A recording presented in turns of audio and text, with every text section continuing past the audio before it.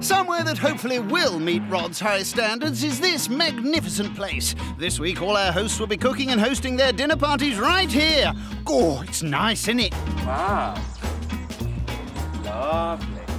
Naturally, I'm nervous about cooking in a different kitchen. Knock, knock. Only me. I think if you can cook, you can cook anywhere. Very nice plant. Look at the garden. We're all using the same equipment, the same oven, so I think that gives us more of a level playing field. Lovely kitchen. Clean too, that's what you want. Glad you approve. Time to get cooking. Rod's starter is chicken liver pate with a mushroom and tarragon pate as a vegan alternative. Oh, my ears! Our second host is charity director Paula. Top slippers. I started a charity last year. It's a community pantry and it prevents food waste. Despite there being a really serious message behind food waste, I love having a bit of fun. Olé! And there's one particular food that will never go to waste in Paula's house.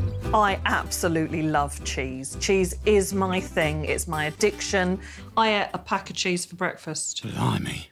Seriously, this morning, that's all I ate. Well, no cheese in the pate, I'm afraid, Paula, but there are some, hey, marinated livers. They don't look very appetising right now, but I don't know whose liver does look appetising, let's face it. He's got a point there. Rod blitzes his chicken livers before adding an egg and a soupçon of chicken stock. So much chicken, who knows? This might be winner, winner, chicken dinner. oh, the old ones are the best. Chicken liver pate. Mimi absolutely loves liver. She's going to be really unhappy that I had liver. Come on, Mimi. Third up is cat-loving Josie, proud owner of furry feline Mimi. I'm a very free spirit. I love crystal healing, past life regression, animal communication, anything spiritual. Did you say animal communication? I can find out if she's hungry or tired or sad. Mummy's going out for dinner tonight. Going to meet some new people. Don't think she's feline chatty. I really do play by my own rules and dance to my own tune. Back in the kitchen, Rod pours his pate mixture into a bain marie and it's in to cook. So far, so good. I'm in distress, I don't have my knives. Ah, Where are my knives? Oh, can't work under these conditions. Where are my knives? Oh, I found my knives. Oh, crisis averted. thank heavens. Next up, the vegan pate. And natty knife work isn't Rod's only skill. I do a little bit of stand-up comedy on the side. Uh, go on, tell us a joke then. I'm going to add a handful of uh, ready chopped shallots, but only a handful, because that's shallot. I do jokes. Do you, though? I'm here all week. Great, you can let us know when the jokes will start. I'm really happy I got all those mushrooms in, because there's not mushroom in the pan. At least he didn't do the fun guy one. He blitzes his mushrooms with tarragon and shallots, makes a balsamic reduction, then plates up his meat-free pate ready to be served later. On to dessert, mixed berry vacherin and a mixed berry rice pudding as a vegan alternative. Looks good. I'm salivating, so I'm looking forward to having a bash at it. Contestant number four is Hassan, a solicitor by day, but by night he magically transforms into. Wait for it. Corduroy Man! He's a bit dizzy, I think. There's a one Hassan who likes to express himself in one way during the day and one way during the night, much like a superhero. Faster than a speeding geography teacher. I've never been a rice pudding kind of girl. Our final guest is go getting jewellery entrepreneur Sarah. I never stop. I never ever switch off. I'm working all the time and across different time zones.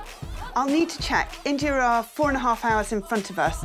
I'm known as the Queen of Rings and the Queen of Salads. Just as long as you don't get the two mixed up. I am 98% eccentric. Oh, what's the other 2%? Probably really boring. Oh. Back with our host, and he's making the meringues for his vacherin. So first of all, I need to separate my eggs. He's cheating on you with your hairdresser. Oh, Rod. The egg whites are whisked up with icing sugar. Meringues is my my favourite thing. Very confident.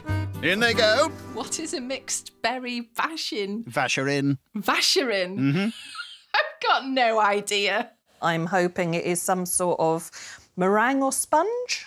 Correct on the meringue front, and it's time for the moment of truth. And they're not even cooked. No. I don't know what's gone wrong. I'm, I'm, I'm doing them again. Just gonna go straight in the bin. I just feel really stressed now. I think they're giving themselves quite a lot to do, so I think it's going to be a really time-consuming menu to pull together. Take two for the meringues. I'm really, really happy with those. If at first you don't succeed, try and try again. He layers the rescued meringues with homemade ice cream and a mixed berry sorbet. Knocks up a vegan rice pudding alternative, and dessert is done. Rod's final course is the main ballotine of chicken with potato dauphinoise. I've got absolutely no idea what a ballotine of chicken is. As far as I know, ballotine is just where you slap a bit of bacon on it, I think. Nope, Rod. It's deboned and rolled chicken. There we go. For the stuffing, he blends mushrooms, onions, spinach, and pancetta, then adds to his flattened chicken. It does look a bit like roadkill at the moment, but I can assure you it's going to taste absolutely lovely. He rolls, then ties and poaches. The whole thing will be roasted later. Onto his garlic-infused dauphinoise. I am a big fan of potato dauphinoise, but I hope there's not too much garlic because it does give me wind. You as well, eh? Et voilà! Les pommes dauphinoises. Oh, très bien. Finally, for the non-meat eaters, he's making a Trinidadian chickpea and spinach curry. I would eat curry for breakfast, lunch and dinner every day if I could. If there are no flavours behind the f- heat, then it's just uh, a pointless waste of time. You haven't even tried it yet. Rod mixes spices, chickpeas, spinach, and a big dollop of Trinidadian green seasoning. In Trinidad, maybe a neighbour might pop over or someone might come in. They would say, Your curry's smelling nice, boy. And this smells lovely. Oh, it does, doesn't it? He'll serve it with rice later. That's all my cooking done. Now I've got to get this place ready and looking roddy. Well, off you poppy. Looking at this menu, it sounds a lot fancier than my menu. I think that the host is a very experienced cook. There's a lot to do in this menu, but if they do it well, it's going to set the standard really high. Final thoughts? Oh, no.